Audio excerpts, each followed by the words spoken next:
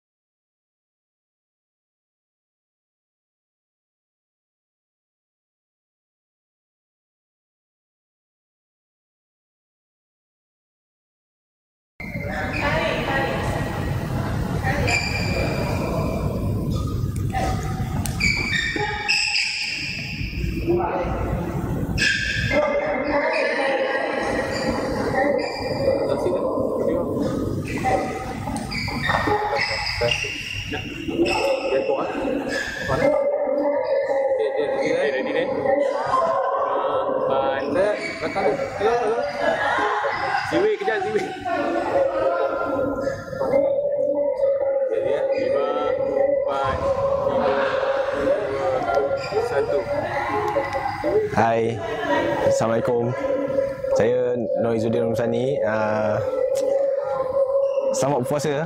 Uh, saya nak ucapkan terima kasih lah sebab datang sudi hadir untuk uh, Q, Q&A saya hari ini. Uh, saya saya cubalah untuk jawab uh, beberapa soalan yang dah ditujukan kepada saya.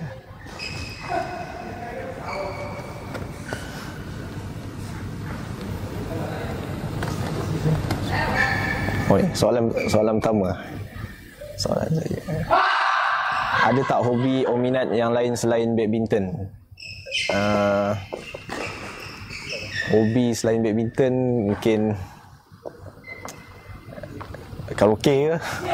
Karaoke lah memang tu selalu selalu pergi lah. Yang lain yang lain jarang jarang jarang buat lah. Lagu apa dia kalau kalau Ha? Lagu apa dia? Saya sebab lahir tahun 90-an, lagu-lagu 90-an lah selalunya. Apa lagu lagu. Ah, lagu favourite. Lagu favourite eh. Uh, banyak lah lagu ke Ah, semua semua termasuk lah tu. Wing, Search, uh, Isabella ke kan.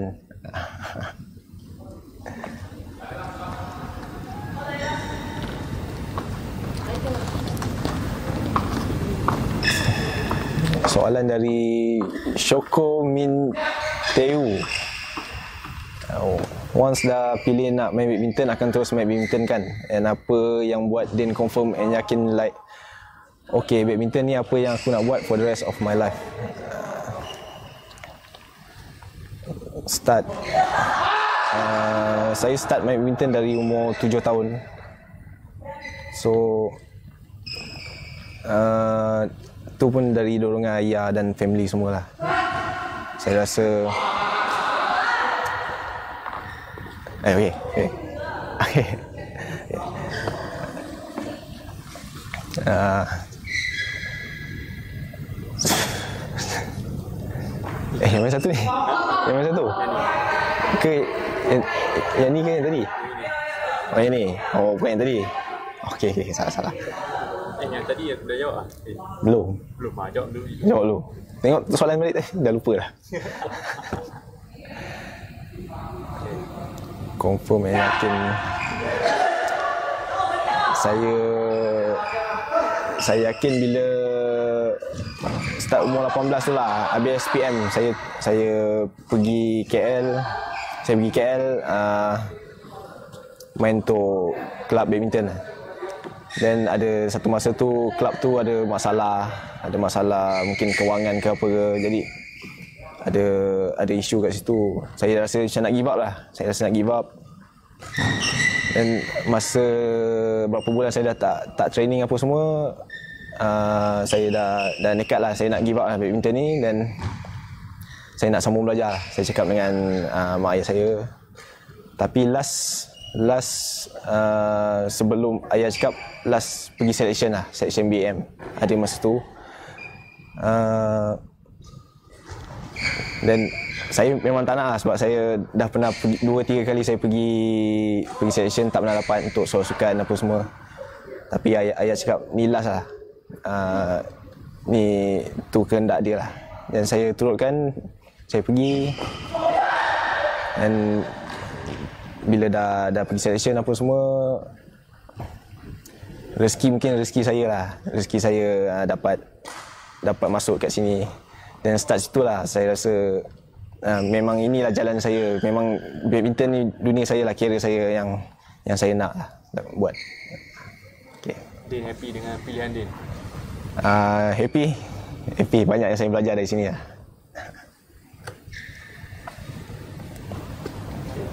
Soalan seterusnya.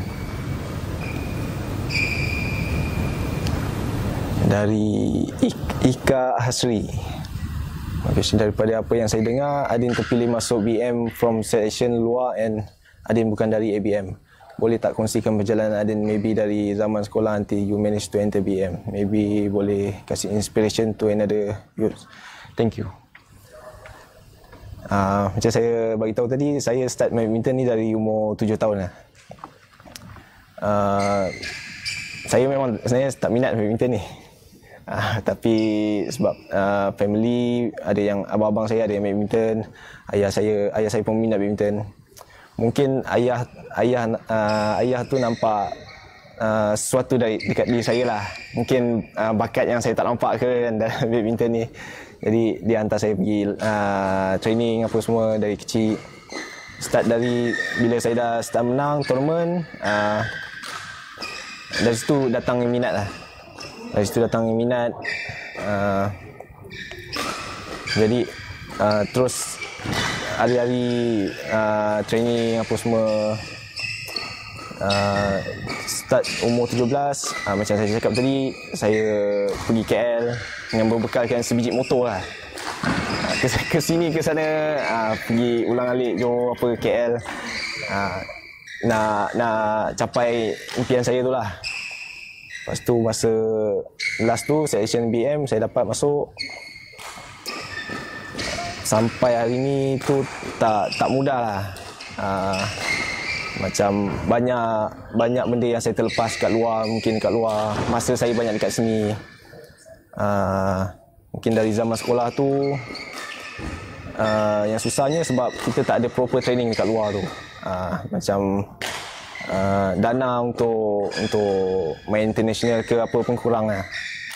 jadi uh, dorongan dari ayah tu kata-kata semangat dari family semua support mak ayah semua Ha, tu yang bawakan saya sampai hari ni lah. Jadi yang saya nak masukkan tu dalam apa apa pun yang kita lakukan uh, pengorbanan lah. Dari memang bertahun-tahun lah. Memang ambil masa lah untuk sampai ke hari ni. Uh, saya bersyukur lah sebab ayah saya selalu saya ayah saya selalu apa? Selalu ada untuk support saya. Yang tegas untuk paksa saya untuk dalam masuk dalam dunia badminton ni lah.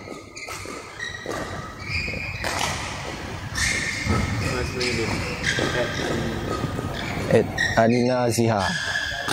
Kalau tak jadi pemain badminton Dia rasa dia yang kerja apa sekarang? Oh, Tu soalan susah sikit lah macam Tak pernah terfikir lah Tapi mungkin Mungkin saya Mungkin Dah sambung belajar ke Belajar ke Ataupun buat bisnes ke. Uh, Sebab minat saya ke arah bisnes tu ada lah tapi cuma tak ada tak ada ilmu kan tak ada jalan tu. Jadi uh, jadi kurang lah saya saya pun tak tahu sangat macam mana nak nak ke ke arah tu. Kalau sambung belajar belajar apa ni belajar. Kalau lah. Hmm, belajar. Sport science tu sport science. Uh. Bisnes, okay, bisnes Bisnes apa yang awak, awak minat din? Dan sekarang ni adakah awak ada apa-apa bisnes tu? Bisnes tu uh, Bisnes family saya lah. Uh, Kakak saya ada buat sambal. Sambal budak Montel uh, Kalau ada ada yang minat tu Boleh lah uh, Dekat IG saya ada Dekat dekat highlight saya tu uh, Ada ada nombor dia uh, Boleh order kat situ Pedas din, sambal tu? Ha? Pedas? Ngam-ngam Ngam-ngam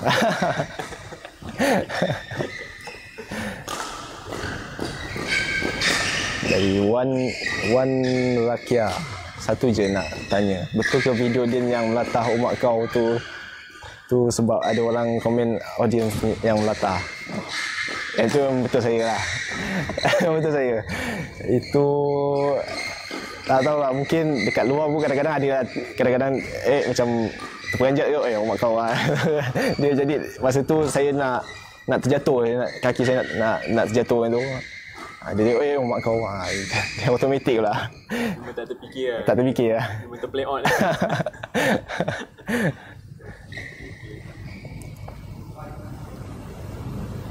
Okay, ni. Ini siap hantar gambar dia. Daripada Lady Dila. Lady Dila. Soalannya. Masa ni Din bebel apa? Oh, yang yang bola tu saya rasa sebab opponent dah ke tengah. Patutnya saya saya pukul pukul pukul straight je lah, apa cross. Ya kan. Ya, apa yang bodoh sangat saya cakap macam tu lah kat sini. Saya marah diri sendiri lah lepas tu. Macam marah dengan diri sendiri. Ya, bercakap dengan diri sendiri lah, marah diri sendiri kenapa lah. Eh, buat benda-benda macam tu saya buat. Okay. Jawablah soalan. Okey, ni daripada ni. Najwa. What's your must eat food during Hari Raya? Najwa Nizam. Mestilah. Uh, ketupat, rendang, uh, lepat. Lepat bukan rasa bukan semua semua negeri ada tak? Kan? Uh, sebab kadang ada juga yang tak tahu lepat tu apa. Uh, so, uh, lepat tu kira macam makanan Johor juga lah. Kan? Uh, itulah kebiasaannya memang ketupat rendang tu memang mesti ada lah. Kalau tak macam tak lengkap lah raya tu. Okay, tahun ni raya kat perantauan. Macam? Uh, sedih tu ada lah. Tapi itu dah tanggungjawab kita kan sebagai atlet. Uh, macam saya cakap lah, peng, peng, pengorbanan tu lah kan. Uh, saya cuma, saya sebagai seorang atlet tu harap uh, dari para peminat tu uh, kritikan yang yang yang positif lah yang membina kan yang sebab dari dari segi pengorbanan kita ni kita perlukan sokongan daripada dua orang semua. Apa makanan yang makanan ibu lah nanti Din akan bawa bekal ke atau macam mana ke Hmm, jarang lah saya sebab family pun jauh kan. Uh, mungkin selalu saya pun order tu lah sambal akak saya lah. saya selalu order. tu mana-mana saya bawa lah.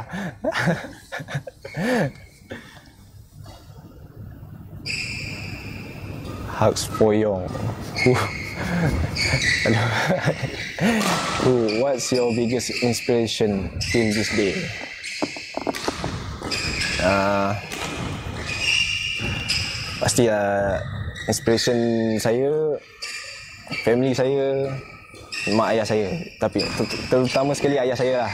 Yang yang support saya yang selalu uh, ada di belakang saya yang bila uh, kalah ke kecewa ke apa ke dia tak pernah cakap negatif ke apa ke. Dia cakap uh, sabarlah tak apa training je. Nanti akan datang masanya akan akan sampai lah. Uh, dia dia seorang yang supportive dan positif selalu. Dan saya pun akan ikut contoh yang tu. Dari, dari segi mental saya pun akan jadi positif juga. Ha, jadi apa-apa pun yang yang terjadi fikiran saya tetap akan positif sebab apa yang apa yang kita buat selalu mesti ada uh, proses perlukan proses lah. Perlukan masa yang yang lama uh, untuk berjaya. lah. Ins- inspiration dia. ayah dulu memang main badminton dia Ayah dulu memang ada badminton uh, macam state-state ke uh, so me- mungkin dari dari itu uh, turun ke saya lah. Daripada Eh, Echah Ali Dua perkara yang fans tak tahu tentang dia Dua perkara. Uh, Okay lah Kira saya cakap pasal fakta lah ya. Jujur saya cakap lah uh, Ni uh, kira ada juga soalan yang tanya saya Suka ke Eh uh, apa pendapat saya bila orang panggil saya Din Masjid lah uh, Sebenarnya satu fakta pasal saya ni apa yang orang nampak pasal saya ni peminat ni bukanlah diri saya yang sebenar. Ha, maksud banyak kira banyak masuk lah kat situ kan. banyak lapisan lah Ah banyak lapisan lah. Ah, sebab sebab saya tahu diri saya macam mana. Sebab saya bukan bukan orang yang baik lah. Kira macam tu lah. Ah, tapi apa yang saya tunjukkan adalah proses saya untuk jadi lebih baik. Proses saya jadi untuk lebih baik. Ah, berkait juga dengan nama dia masjid tu nama tu berat sebenarnya berat nama tu bila orang panggil nama pun ada masjid kan jadi expectation uh, orang dekat saya mesti tinggi uh, orang ingat saya oh baiklah ni ni ni. Uh, mungkin uh, macam apa? Baiklah orang yang baiklah. Macam tak salah ke apa kan. Uh, tapi uh, sebab saya saya kenal diri saya uh, saya saya takut bila uh, orang jumpa saya dekat luar ke oh macam ni rupanya Din. Oh, dia tak sama pun dengan apa yang dah, nampak dalam TV kan. Ha, tu yang beratnya bila bila bawa nama tu kan. Tapi tapi saya tak mula-mula saya fikir macam tu lah tapi lama-lama saya fikir kata-kata tu satu doa lah. Mungkin dia masjid dia masjid lama-lama mungkin ha, tak sekarang akan datang saya akan akan pergi masjid tu ha, selalu pergi ke apa kan. Uh, jadi tapi saya saya hidup tak bukan hidup dengan expectation orang lah. Saya buat apa yang saya rasa elok untuk saya walaupun walaupun saya bukan saya bukan nak cakap pasal aib saya ke apa ke tapi uh, saya nak nak tunjukkan contoh yang baik lah pada remaja-remaja mungkin saya boleh dikirakan sebagai seorang influencer lah sekarang mungkin ada remaja-remaja yang ikut contoh saya yang yang tengok apa yang saya buat jadi saya nak bagi contoh yang baik lah dekat dekat dia orang semua Bila bila start tu Din? Orang panggil Din Masjid ni. Dari mana? eh? di masjid semenjak mungkin ah tahun lepas Demak Open tu lah mungkin start situ ah, tu terus terus makin makin tersebar pula nama di masjid tu Terkejut lah first time mula. Bila Ah, saya kejut apa ni di masjid pula ni kan. saya pun uh, macam blur kan. Ah, tapi tak apalah saya cakap tak kisahlah nama panggilan tu. apa fakta nombor dua Din? Tadi dia minta dua fakta. Fakta nombor dua. Ah, saya saya nampak serius. Saya seorang yang nampak serius and nampak malu lah. Mungkin pada orang yang saya baru kenal lah. Tapi kalau dengan orang yang saya dah rapat ke, mungkin family, uh, family saya ke, kawan-kawan rapat saya, ah, mungkin akan kenal lah macam mana ciri saya sebenarnya lah. Boleh cerita sikit lah. Macam mana Din Din suka bawa ke macam mana? Kalau dengan family lah, macam mana? Ada. Saya saya dengan family sebab saya paling bungsu lah. Jadi saya macam dan umur abang-abang saya, akak saya pun jauh. Uh, saya Kena bully Din. kena bully tu ada tu. Jangan marah eh abang kakak saya. uh, tapi uh, uh, kami rapat lah walaupun walaupun umur yang beza jarak kan. Tapi kami sama ingat lah.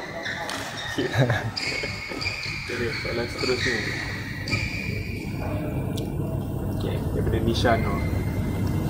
Serious question. Nisha Nur. Serious question. Senang tak cari makanan halal bila ada tournament? Hmm, kebanyakannya selalu kebiasaannya lah saya akan bawa makanan sendiri lah dari dari Malaysia.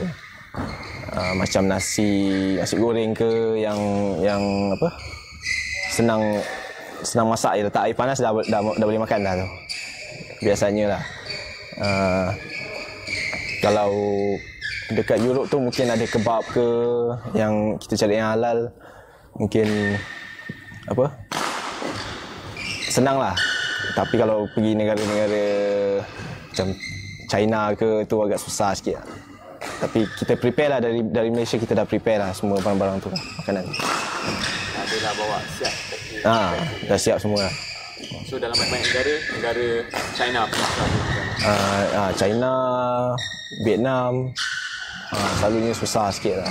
Uh, Kena search Google lah mana ada. Uh, Kita jalan pergi lah. Selalu pergi makan tu dengan siapa dia? Selalu. Selalu makan uh, dengan kawan-kawan semua lah. Uh, Kita selalu makan sekali. Uh, Tapi mungkin kadang-kadang dia orang nak tukar selera uh, Saya paksa lah pergi seorang ke. Uh, Cari makan sendiri kan. Uh, Tapi kebanyakannya dia orang akan teman saya lah Siapa yang kawan selalu selalu dengan dia kalau makan lah. Selalu sebab sebenarnya saya pun selalu roommate dengan Wi selalu Wi lah yang selalu uh, makan dengan saya. Dia. dari Diana Hairul. Apa pengalaman pahit yang tak boleh dilupakan sepanjang tournament? Kenangan pahit. Kenangan pahit tu dekat Thailand Open. Thailand Open 2018. 2018. Ke 2019. Ha, saya 2000 tu lah. Bila sebab saya saya dengan dengan partner saya dengan Sife tu bukanlah apa yang uh, para peminat tu nampak hari ni lah dengan sebelum ni. Uh, maksudnya sebelum ni kita ada masalah sikit lah uh, antara partnership kita orang. Masa masa tu masa yang dekat Thailand Open tu lah kira kemuncak lah segalanya lah. Uh, bila uh, kita main pun macam dah nak tak nak main main macam uh, kau main barang kau, aku main barang aku. Uh, kita tak main sebagai satu pair. Jadi uh, situ dah ada masalah lah situ. Jadi masa tu bila keluar court dia marah saya, saya marah dia. Dah bergaduh kat situ lah. Bergaduh, kira bergaduh besar lah kat situ kan. Uh, tapi lepas kita dah bergaduh besar tu uh, barulah sikit demi sikit uh, kita kita balik kepada tujuan asal kita lah sebagai satu pair. Jadi kemenangan pahit tu dekat Thailand Open tu lah yang paling yang teruk sekali lah dekat tournament. Sekarang Din Afi, okay. Uh, kira sekarang boleh sembang, kira kawan, kira boleh brother lah. Uh, Din dengan Afi ni daripada lama, dah lama kan pair dari Ah. zaman sekolah Din ke dari 2016. Uh, first saya masuk BM lah. dengan Uh, Afi eh. uh, dengan sipil terus. 2016 umur awak berapa kan? 19. 19, eh? 19. Dah lama kan. Hmm, lama lah. Kira macam bercinta jugalah kan. Ha, kejap baik, kejap gaduh. Ha, sekarang macam... Masih-masih kenal lah. Ha, macam-macam kenal lah. Okay, ni soalan. Which Aisyah Mokhtar, which international badminton player is the closest to Dean of court? Gambar dia gambar dengan Wui. Mengui eh. hmm, international player tu saya kurang sikit lah. Sebab lagi pun dalam situasi COVID ni kan. Macam kita kurang uh, interaction dengan dengan player-player lain. Kebanyakan dekat bilik, dekat dekat court je. Tapi uh, tapi semua player macam kita tegur-tegur uh, kita tegur ada borak nak kata yang paling rapat tu tak ada lah kita tak ada uh, kita just tegur-tegur uh, sebagai player uh, kenal kenal kenal uh, kawan-kawan ni tu lah Uh, ni soalan daripada Facebook. Kenapa tak aktif sangat dekat social media Din? hmm. uh, sebab saya saya jenis orang yang lebih sukakan privacy lah. Uh, privacy. Uh, lagipun tujuan saya datang dekat BM ni mestilah jadi juara kan. Uh, saya niat saya nak nak tolong tolong family saya. Yalah, lagipun saya bukan datang daripada keluarga yang senang kan. Jadi dengan dengan dengan cara saya macam ni jelah yang boleh menghidupkan impian uh, ibu bapa saya nak tengok saya berjaya. Um, nak balas jasa dia orang tu memang saya takkan mampu lah. Saya cakap uh, tapi uh, saya saya saya cuba fokus dekat dekat career saya ni saya tak nak lari dari tujuan utama saya jadi sebab tu saya kurang sikit uh, main social media ke apa. Masih ada tapi kurang lah. Kurang aktif lah. So kalau ada order sambal tu macam mana? Siapa? order sambal tu saya akan laju. Saya automatik terus reply. Sekali lagi Din cakap apa nama sambal tu? sambal budak Montel. Ah, Memang mantap. Soalan terakhir. Uh, soalan dari Sarah Roslan. Din, kenapa selalu sep tangan Afiq kuat-kuat setiap kali dapat poin? Kesian Afiq. itu itu memang habit saya kot. Saya bila dah dah semangat lain macam tu, semangat lain macam uh, macam apa? Tak tak boleh nak control lah emotional tu kan tak boleh nak control emotional tu lah. Tapi mungkin Afif pun dah biasa lah. Dia dah, dah tangan pun dah kebal.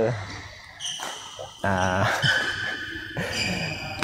Saya rasa tu je lah kot. Saya tak boleh nak komen lah pasal tu. Ada satu lagi Din, soalan terakhir. Orang tanya, apa skincare rutin Din? Ah, skincare. Saya ada ada ada. Oh puji, oh puji. Oh. Tak ada pun saya pakai cuci muka biasa je. Ah, tu je lah. tak ada tak ada skincare rutin ke apa ke. Ah, tak ada. Ah, okey. ikut ikut cakap. Oh, okey. Ha, jadi tu ialah soalan soalan yang yang saya dapat jawab untuk hari ini. Kalau rezeki mungkin uh, lain kali kita boleh buat lagi lah kan insyaallah. Uh, terima kasih kepada semua yang yang selalu support saya. Uh, tak kira menang atau kalah terima kasih sebab selalu doakan saya dan dengan partner saya. Uh, saya cuba untuk lakukan yang, yang lebih baik akan datang lebih banyak title yang saya akan cuba dapatkan. Uh, insyaAllah lah selamat berpuasa dan seminggu lagi nak raya selamat hari raya daripada saya Noizuddin Rumsani. Assalamualaikum. Samban. sampai jangan lupa